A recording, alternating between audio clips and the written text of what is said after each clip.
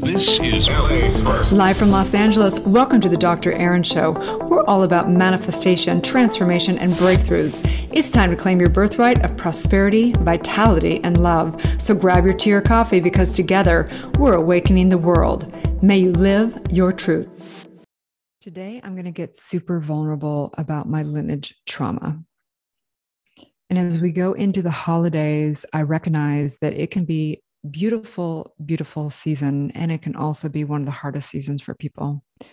No matter if you have family around or you are alone during the holidays, or you love your family, or you feel like you get triggered every time you're around your family, I think it's a really important conversation to have as we go into this beautiful and intense season so that we can really truly see through the triggers, see through the upsets in the family, see through the distance, see through the heartache, see through all the grieving, see through all of that so that we can stand in the light of love and really know the truth of who we are and see through the veils and the walls of our family, through the triggers, through all the upsets, through all that, so that we can hold miracles, miracles, miracles.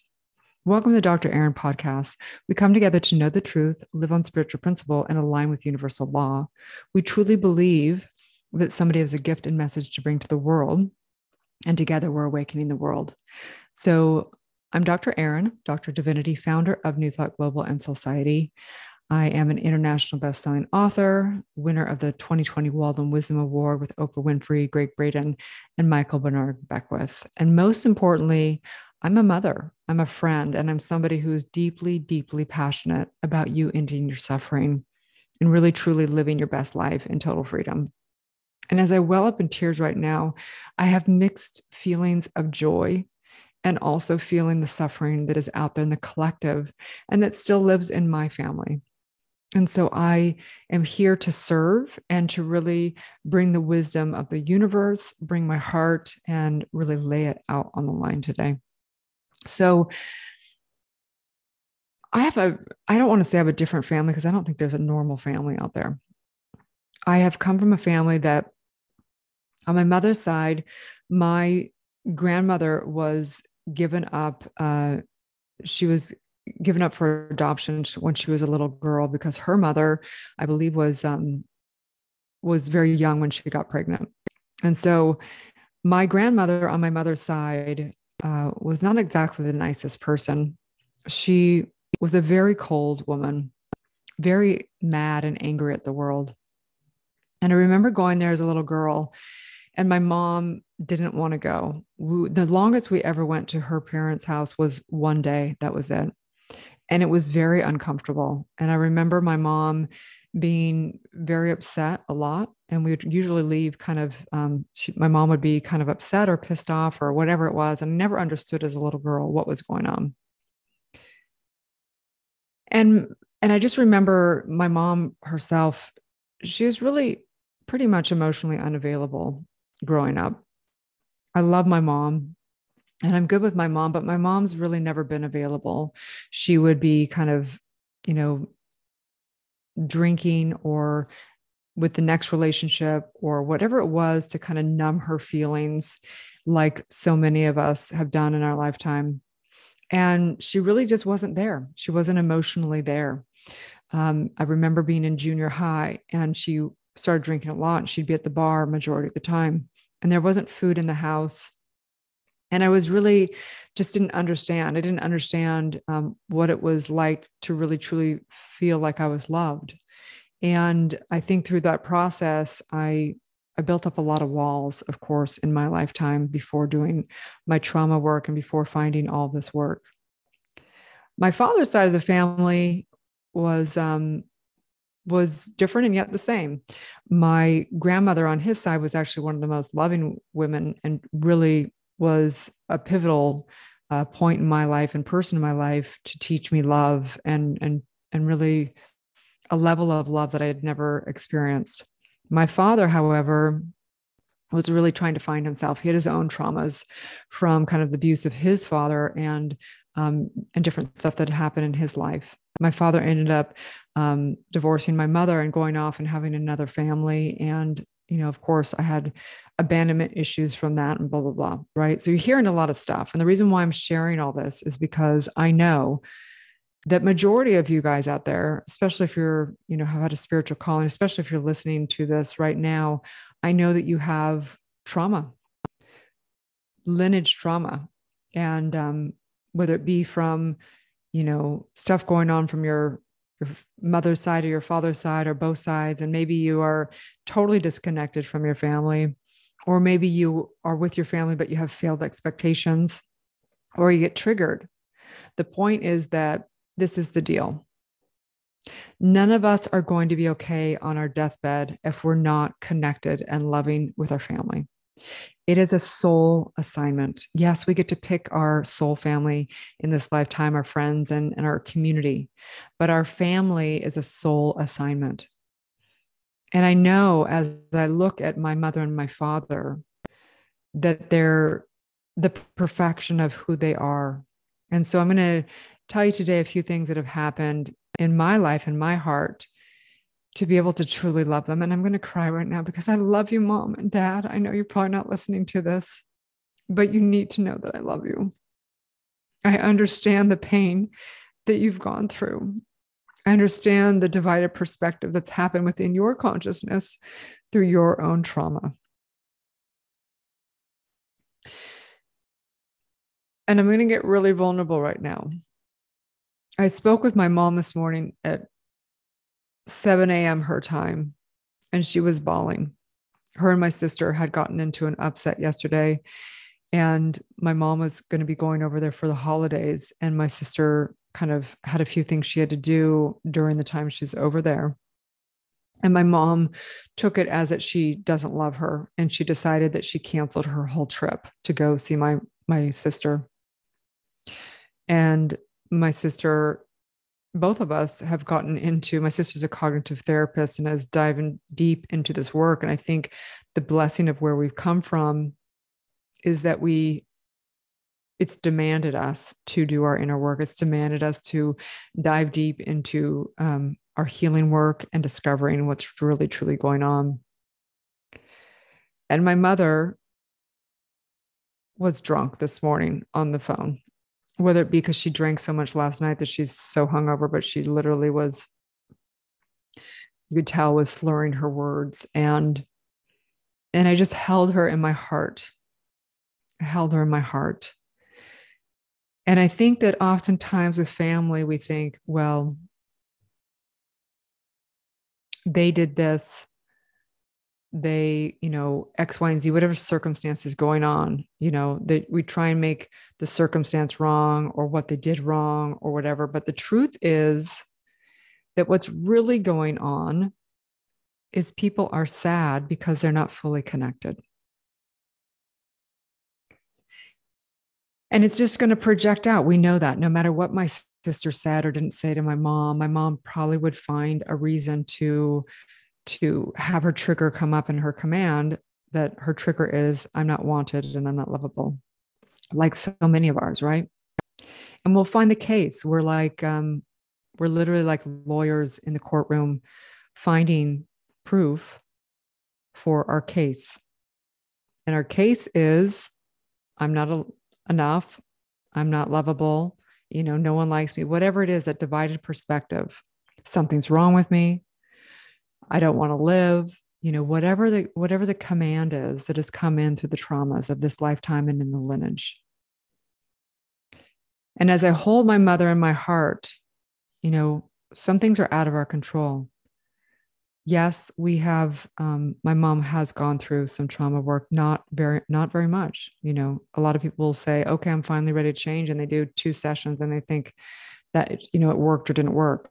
It's a commitment you know going in and doing your deep work we we have lifetimes of of work and it takes some time to really truly get in there and do the work my mom has actually come a long way this is very unusual what's going on but what i know for sure is the perfection of it and we have to know that the perfection of it is that sometimes we make you know strides ahead and then we fall down again. And then we make bigger strides and we may fall down again. And I know in my heart, my mind right now, the perfection of where my mother is. Because I know that she has a choice, just like all of us in this lifetime. We're either going to do our work and break our, our lineage trauma or we're not. And man, it sucks when people don't, but we also have to know the perfection of that. Sometimes people aren't meant to do their true work in this lifetime. And sometimes the next, you know, breakdown demands us to say, I have to change me. And so, speaking with my mom this morning, even though she was intoxicated, even though she was in a real upset, she also said a couple things. She said, I'm so alone. What do I need to change? What can I do to change myself? And that's the first time I've ever heard her say that. What do I need to do to change myself, to change my life? That's the very first time she said that. And I don't know if she's going to remember that when she's not intoxicated. But what I know in my heart is that nothing's going to change until we change ourselves. And we can't change our family, but what we can do is we can stand for truth. We can stand for the healing. We can stand with open hearts and tough love sometimes. And I know the same for my son and for all the lineage to come in my family. I love my son. I love my sister. I love my father. I love my mother. I love my, my half brothers and sisters. I love my sister, my half sister I've never met. I have a half sister I've never met that my half brothers and sisters don't even know about, I don't think. But what I know is that the more vulnerable I get, the more transparent I get, the more real and raw I get, the more I get to experience love and depth. So I say, bring it on. Bring on the holidays, bring on any breakdown in the family, bring on anything that needs to be healed, knowing that to just make people wrong is never going to get us anywhere to wish that our parents are different than they are is never going to get us anywhere. When we listen beyond the surface level and we go down deep into the heart, Mom, I know that this lifetime has been hard.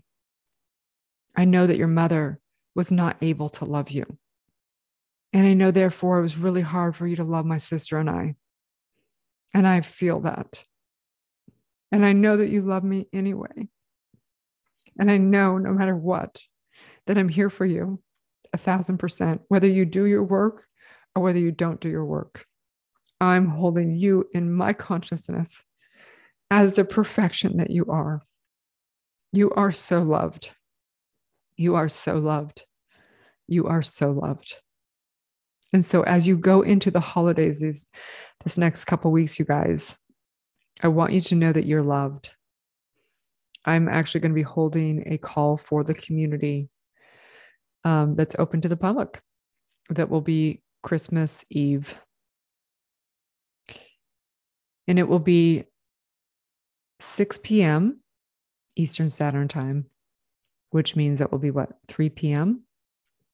Pacific Time. And it's really to get grounded into knowing that you have family even if you your traditional lineage dna family is there for you or not you need to know that you have a soul family. You have a soul family and that i'm here for you fully a thousand percent. And as we close out this year and go into the new year i invite you to know that we all need support. We all need family. And one of the things that i think about when it comes to my mother and to her pain and to her loneliness what I know for sure in my life is what really has saved my life is handing my life over to service, handing my life over to not wanting to get anything out of life, but wanting to give and bring things to life. The moment that I stopped looking to get love and realized that I get to be there for people in love, the moment that I gave up the story that I'm abandoned and I committed to saying I'm never abandoning anybody, that's when my life changed. And so I'm here for you guys And I declare a powerful holiday season. I declare the most loving holiday season ever for my mother, for my sister, for my son, for my entire extended family. I actually am not going to be with family this year, and I am going to love each and every one of them. My son just got married, and he and his wife are choosing to spend it alone. And you know my my family's kind of all over and i'm so excited i'm going to have some friends in florida and I'm also excited to just have a little bit of downtime. It's been a very busy year. Um, we'll be connecting online. I'll be in nature. I'm going to do some deep meditation and wrap up some creative projects that I've been working on. And I'm thrilled and I'm so excited knowing that soon I'm sure I'll be having a grandchild one of these years and we can dive way back into the holidays and do all that traditional stuff. I'm here for each and every one of you guys. I invite you to consider coming into our programs and into our community we don't we don't consider our programs traditional programs we are committed to creating a movement committed to creating a family committed to creating community and um, you can you can go to newthoughtglobal.com check it out. You can dm me dr erin.tv um, d-r-e-r-i-n.tv across social media. And i just invite you as you go into this holiday and whether you're getting triggered or whatever to yes get committed to doing your inner trauma work. But in the interim you know having a plan. Are you going to walk outside? What are you really committed to? What are your intentions before you go into that dinner with your family or go on vacation and be staying with your family you really need to get clear of what you're committed to and if you're committed to making other people wrong then the universe is going to say and so it is. You're going to find something to make them wrong about. If you're committed to loving unconditionally and being able to, you know, be responsible for your own triggers, then that's what's going to happen. Okay. You need to get clear before going into the holidays what you're committed to. And I just know this taking a deep breath in and exhaling out. May we get real. May we get vulnerable. May we no longer shame or hide or grieve from what has happened in our lineage. May we transmute that energy and become the most powerful, the most loving, the most compassionate spiritual leaders that we are born to be. May we know that we're able to look fear straight in the eyes and not even not even blink. I'm here. I'm fully here. May I receive all the good, all the dark, all of it. May I receive myself fully and be there fully for everyone else. I am so clear right now. I am so grateful for all my lineage trauma. I'm so grateful for all the wisdom and the transmutation and the and the leader that it has demanded me to be. I am so grateful. I am so grateful for the breakdown, the breakthrough. And in this, I declare world renowned spiritual leaders in our community, profound, profound masters of understanding universal laws. I declare with the power of my word that all emancipation from suffering.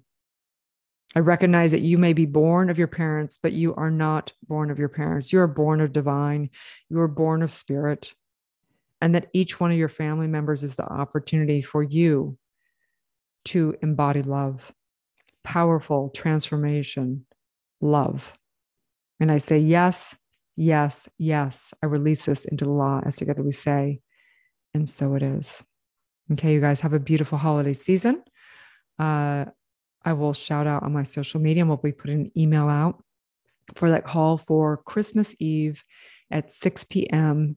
Eastern Standard Time, which means 3 p.m. Pacific Time, which means whatever that is. Let's see, that's um, 3, 4, 5 p.m. Uh, Central Time. And yes, yes, yes, let's do this. As together we say, and so it is. Thank you for listening to the Dr. Erin Show. I wanted to personally invite you into a couple things. One, we have a spiritual entrepreneur program that's open up this week. And I just want to remind you guys that we have a huge bonus with it this week. The spiritual entrepreneur program is not just about a 12 week program of reprogram your subconscious mind transforming your trauma and birthing your purpose. It also is a 12 step program to really be able to launch and scale your business online. And we're going way beyond the 12 weeks. We're actually offering an entire year of soul circle calls, support calls with you, because we want to really build a community with you. We don't want you to just go into a program with us and then be like, see ya, bye. We actually want you to come into our family and really experience it. And we're offering it such an inexpensive price because we know that there's going to be a lot of people coming to that program that will want to actually rise up and be part of the community.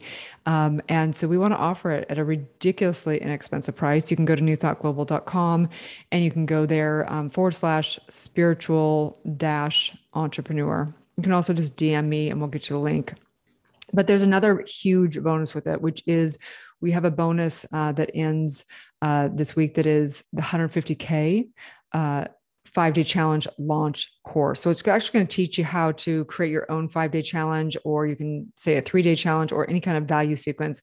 I teach you everything from how we did ads, how we set up the Facebook group, how we did email campaigns, everything front to back, everything, everything I teach.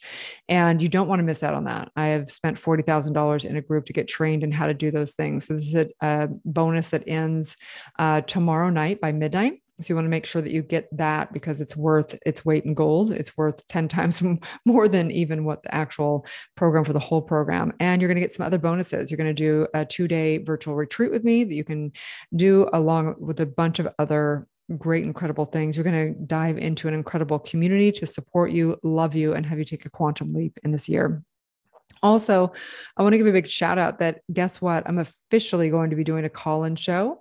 So, what you can expect from this show is we've had some great series. I've done series on money breakthroughs, I've done series on E4 trauma method, I've done series on universal law, I've done so many great series. And now it's time for me to do a call in show. So, you can actually be on the show. We're going to be doing a video and audio call in and transformation. I'm going to actually be coaching one on one taking people through the processes, taking them through E4 trauma method, teaching universal law, science of mind, metaphysics, everything. And you can get on the show. And all you got to do is you can uh, go to New Thought Global, and at the top it says podcast, and you can actually fill out a little form to get on the show to have a huge breakthrough. And so I'm going to be doing that. You can also uh, you can also text or message uh, at the phone number 323-538-5646. And this is going to you can leave a voice message with a question and I can actually play it back and answer it on the show. You can also text in your question. And you can also text there to if you want to get on the show and we'll send you the link. Okay. I'm really super excited because guess what? This next year, my commitment is to bring you call-in shows and to bring you traditional power talks, ministerial talks, teaching not God outside of the self, but really truly metaphysics, how you are the creator, how you truly are through the law of attraction, through universal law, through all of it. I'm going to break it all down for you guys this year. So you do not want to miss this. Please subscribe, share this show with a friend. Let's rise together. Let's rise together again.